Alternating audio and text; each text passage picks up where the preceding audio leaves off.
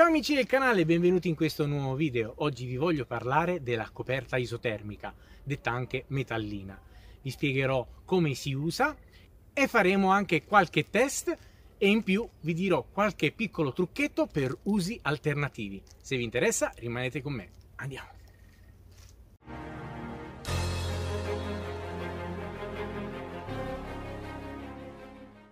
Allora amici, ho fatto questo video per due motivi.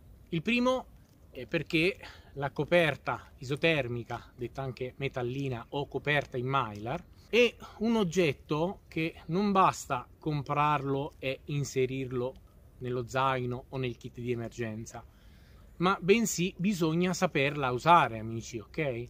Perché non è così scontato l'utilizzo della coperta isotermica, ma è importante che ne compriamo due, una da conservare ovviamente nel nostro kit di emergenza o nello zaino durante le nostre uscite e la seconda invece la andiamo ad aprire, andiamo a testarla, a provarla proprio per vedere come funziona. È molto importante anche capire come funziona questa coperta isotermica, altrimenti ci troviamo in situazioni magari complicate e non sappiamo il reale utilizzo o cosa andiamo incontro utilizzando la metallina. In secondo luogo, amici, mi è capitato molto spesso, sia parlando con le persone ma anche vedendo video su YouTube, di ascoltare alcune informazioni errate. E anche qui io vorrei un attimino eh, spiegarvi come stanno realmente le cose. Ma ora, prima di tutto, andiamo a vedere di cosa è composta la coperta isotermica. Allora, amici, questa è la classica metallina, ok? Eh, di questo tipo, che poi alla fine è quello più economico, come vedete in commercio esistono varie misure, ne fanno in varie misure. Io di solito quello che prendo è quella più grande, 160 x 210, proprio perché mi permette di coprirmi meglio e di fare anche altre cose. Ora amici andiamola ad aprire e vediamo di cosa è fatta.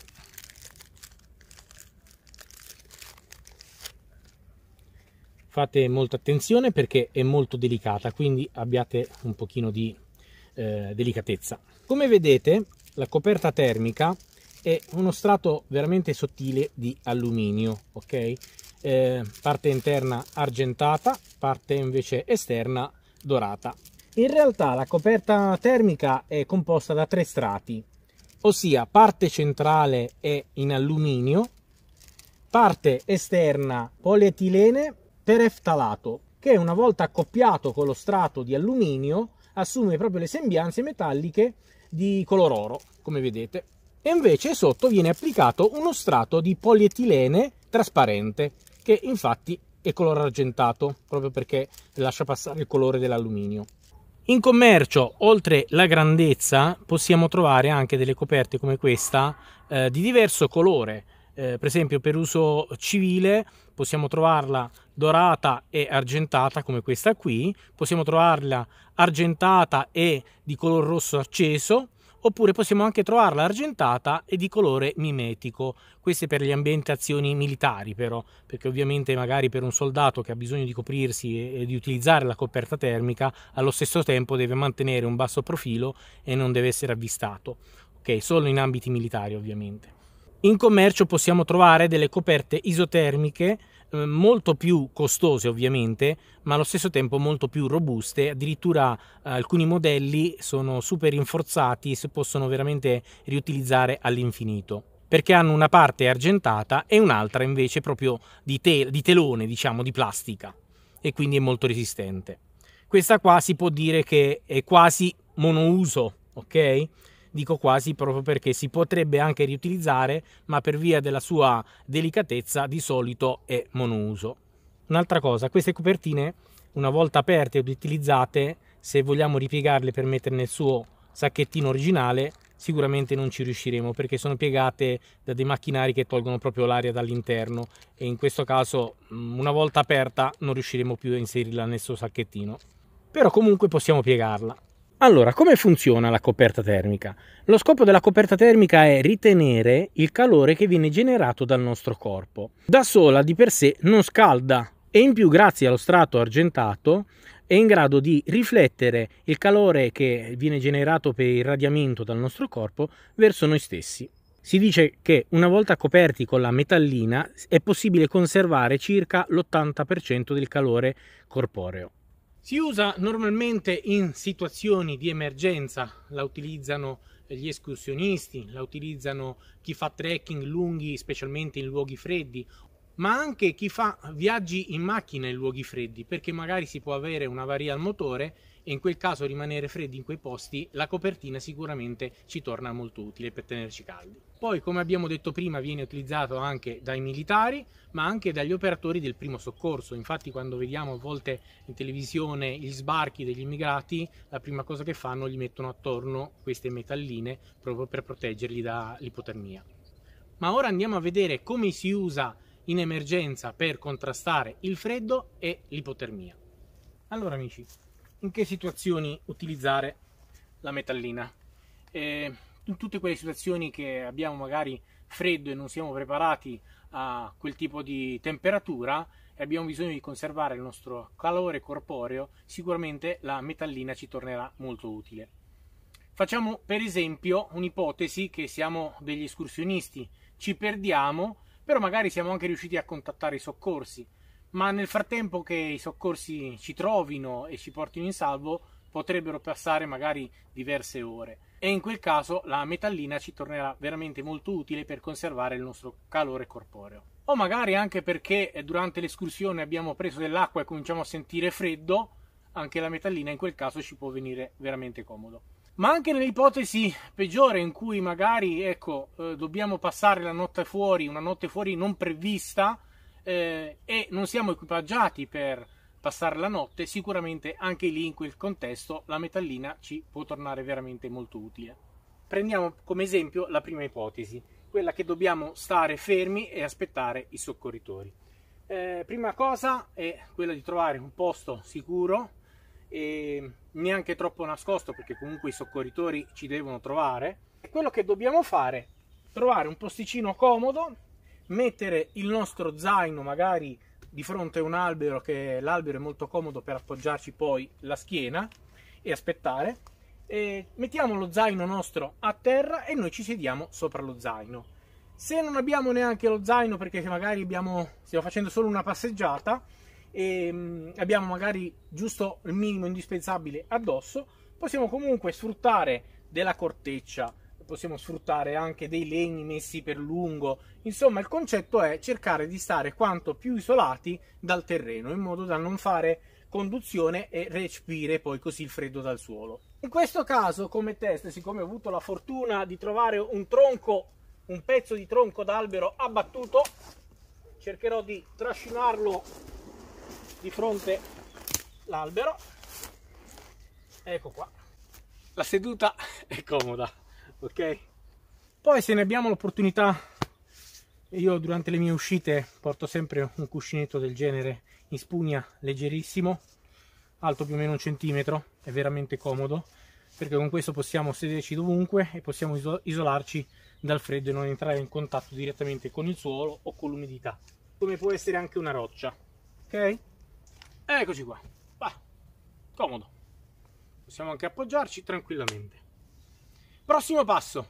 Ora amici, mi sono messo in maglietta proprio per percepire di più l'efficacia della copertina termica. Allora, con calma, con delicatezza l'andiamo ad aprire. Ok.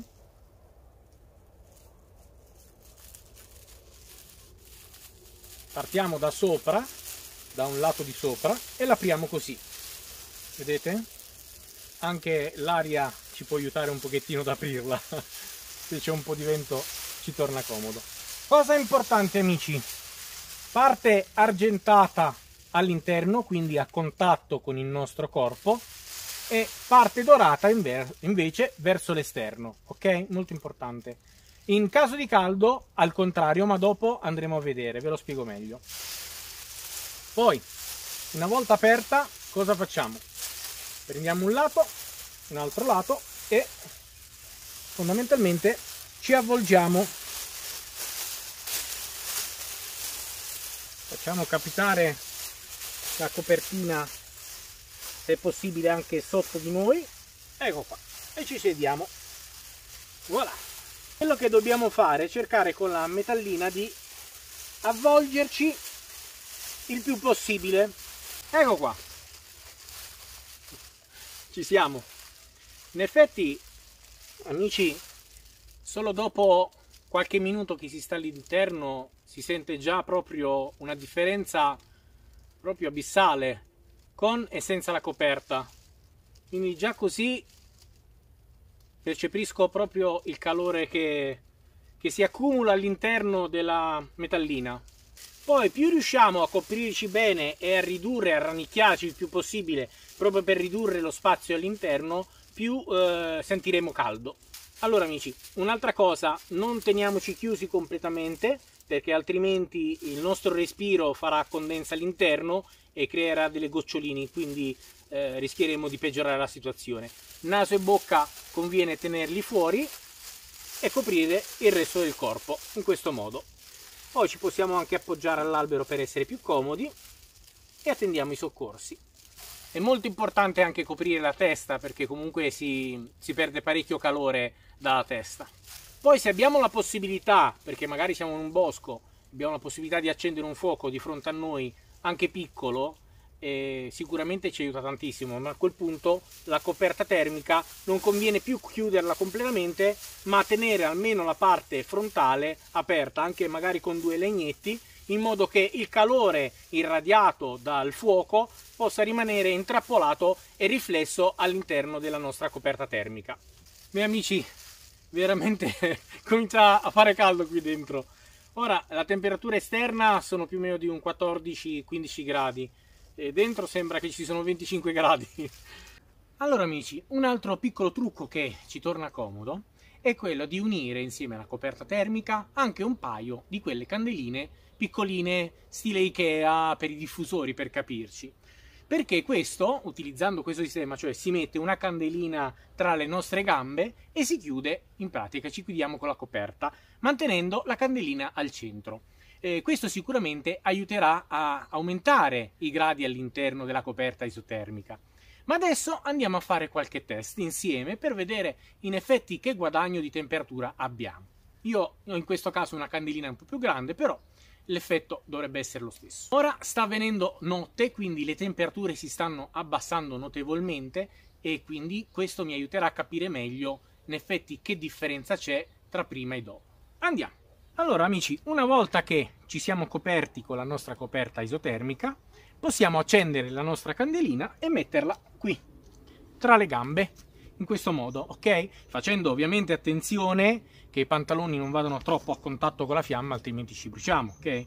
E la stessa cosa vale anche per la coperta isotermica, non deve stare vicino ovviamente alla fiamma. E già così funziona, ma ora vi farò vedere un piccolo trucchetto che migliora eh, la sicurezza. Andiamo. Ora amici, se ne abbiamo la possibilità, possiamo anche prendere qualche sasso in modo che la candelina stia così all'interno di queste barriere, diciamo, ok? E possiamo fare questo lavoro qui. Ecco qua. E la candelina andrà all'interno. Poi, una volta accesa la candelina, poi possiamo anche, una volta accesa, mettere un sassetto sopra in modo che la fiamma va a scaldare il sasso e quindi avrà una maggiore diffusione di calore che invece di avere un punto caldo dritto andrà a scaldare la pietra e quindi farà effetto diffusore. Ora amici mi sono messo in camicia per percepire meglio la situazione, ok? Comunque ho due termometri, uno che sta all'esterno e uno che invece lo terrò all'interno con me per capire un po' che differenza di temperature. Ok, allora siamo a 14 gradi, quello segna 13,5. Vabbè, c'è mezzo grado di differenza, ma comunque per capire come va la situazione, ok? Mi copro bene, senza accendere la candelina, facciamo un test così prima. Metterò il termometro vicino a me in questa posizione, ok? Senza metterlo a contatto col corpo perché altrimenti si falserebbe il test.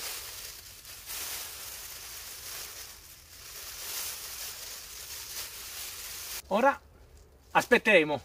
Aspetterò così per un po' di tempo e vediamo un po' la situazione come migliora. A livello esterno adesso la temperatura sta scendendo, quindi andiamo a percepire anche di più la sensazione che c'è di differenza tra dentro e fuori. Allora amici, sta venendo buio e sono 20 minuti che sono qui fermo, quindi andiamo a vedere un po' la temperatura.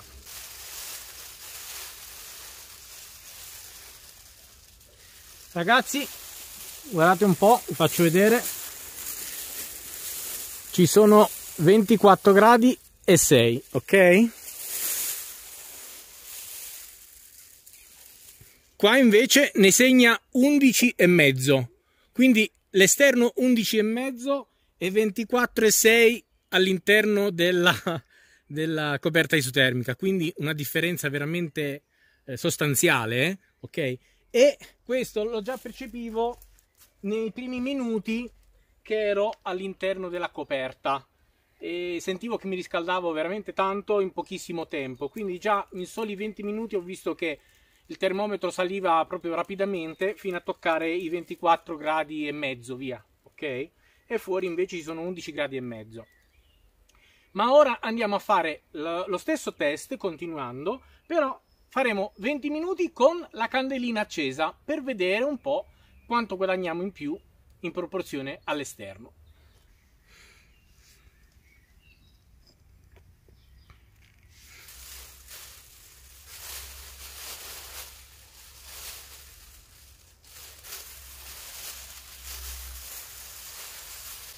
Bene, aspettiamo un po' e vediamo un po' cosa succede. Ora è quasi notte, quindi usciamo e andiamo a vedere i gradi, quant'era all'interno, vediamo un po' se ve li riesco a far vedere. Come vedete sono 26 gradi, ok? Ora andiamo a vedere anche quello esterno, vediamo un po' se si riesce a vedere. Vediamo un po' con un po' l'accendino sono ecco qua è caduto anche vediamo un po 10 gradi ecco qua 10 gradi e 6 abbiamo diciamo con la candelina guadagnato quei 3-4 gradi ok? Però ho notato anche un'altra cosa che sicuramente più tempo rimaniamo più il calore all'interno si riesce ad accumulare ok? Io sono stato solo una ventina di minuti per, per vedere ma sicuramente se stiamo di più il clima si riesce a riscaldare ancora, ancora un pochino. Poi, comunque, ho notato anche un'altra cosa, ora vi mostro, che conviene comunque mettere un sasso molto sottile in modo che la candela riesce a riscaldarlo subito. Un sasso così spesso come questo qua mh, mm, non conviene molto molto o perlomeno conviene coprire la candela per metà, non completamente, in modo che comunque eh, venga riscaldato il sasso sopra, però anche il flusso del calore della candela possa salire verso l'alto, ok? Quindi se fosse un sasseno sottile sottile che si riscalda molto velocemente allora conviene, altrimenti conviene lasciarla leggermente aperta in modo che il flusso il calore della candela possa salire. In più la candelina ci torna veramente molto comodo, notato che all'interno possiamo avvicinare le mani e scaldarcele ragazzi. Quindi anche questa non è una cosa da sottovalutare. Avere una piccola candelina che ci dà la possibilità di scaldarci anche solo le mani e vi devo dire che tanta roba, ragazzi. Eh? Me ne accorgevo prima quando ero dentro all'interno che fuori faceva freddo, ma tenendo le, le mani al caldo vicino alla candela era tanta roba. ok? E, ehm, un'altra cosa, sicuramente eh, possiamo usufruire di piccoli accorgimenti nel, nella coperta isotermica per chiuderci ancora meglio, perché ho visto che non riuscivo a chiudermi proprio bene. Ok? E, ehm, e ora vi mostro. Allora amici, ho visto che ieri 3-4 gradi siamo riusciti a recuperarlo con la candelina, però secondo me eh, potevamo fare di più se solo con un po' di nastro americano avrei chiuso praticamente tutto il bordo, ok, in questo modo qua, in modo da creare una specie di sacco, ok?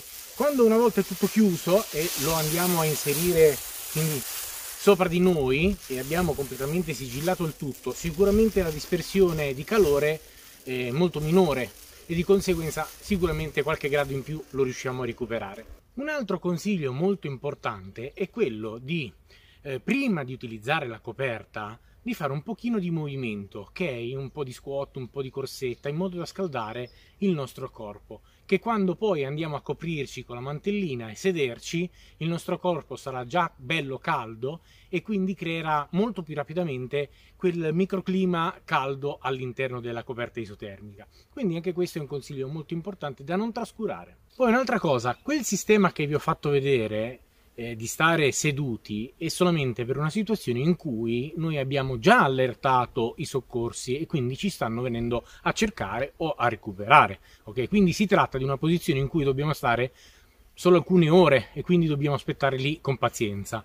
Ma se dobbiamo passare una notte, amici, eh, quella posizione vi assicuro che potete fare qualsiasi cosa tranne che dormire perché è una posizione veramente scomoda, quindi passare tante ore sicuramente non riusciamo a dormire, eh, prenderemo crampi, cominceranno dolori per tante ore così purtroppo e quindi sicuramente sarà una pessima notte. Non moriremo di freddo, ma sicuramente sarà una notte terribile.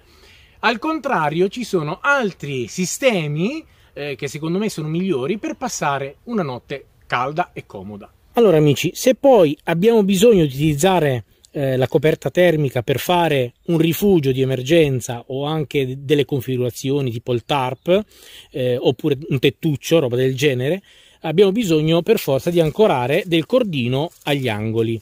Ok? Però siccome la copertina è molto fragile, eh, io vi consiglio questo sistema. Eh, per farlo abbiamo bisogno ovviamente del cordino, se abbiamo la possibilità delle piccole galle di quercia, ok?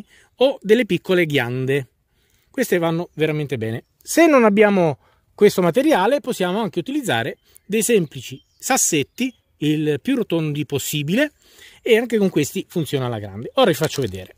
Ora la prima cosa che andiamo a fare sul cordino è creare un nodo scorsoio, semplicemente facendo un nodino sopra al dormiente, anche con un fiocchetto anche meglio, ora vi faccio vedere, ecco qua, un qualsiasi nodo scorsoio, ok? Che quando si tira si stringe. Fatto questo, prendiamo per esempio il nostro sassetto, lo mettiamo al centro dell'angolo, in questo modo, ok? Poi prendiamo lo scorsoio e andiamo a stringerlo. Ecco qua, in questo modo. E abbiamo un ancoraggio e una volta tolto possiamo recuperare la nostra coperta senza strappi. Un consiglio che vi voglio dare per rinforzare gli angoli della coperta isotermica è quella di abbinare insieme proprio alla coperta del nastro eh, telato eh, tipo duct tape, ok per capirci. Questo che utilizzo è della T-Rex, secondo me uno dei migliori in commercio, veramente buono, resistentissimo e ha una colla veramente resistente. Ma ora andiamo a vedere come rinforzare gli angoli col nastro telato. Ora, una volta tagliato un pezzo di una decina di centimetri, ok, di nastro, quello che faremo è trovare dei piccoli stecchetti di legno di 2-3 mm, ok, circa, e li andiamo a collocare giusto al centro della striscia. Ecco qua, in questo modo. Ok? Dopodiché cosa facciamo? Prendiamo un angolo e appoggiamo così. Ecco qua. Ok lo incolliamo per bene. Poi pieghiamo a metà proprio dove è il bastoncino. In questo modo. E incolliamo il resto. Ecco qua. Vedete? È sufficiente. Qui abbiamo il legnetto Ora qui, proprio davanti al legnetto, faremo un piccolo forellino giusto per far passare il cordino. Ci appoggiamo sopra un pezzo di legno e facciamo il forellino. Facciamo passare un legnetto per allargare. E voilà. Ora possiamo fare la stessa cosa a tutti e quattro gli angoli. Ma adesso andiamo a vedere un bivacco d'emergenza. Andiamo.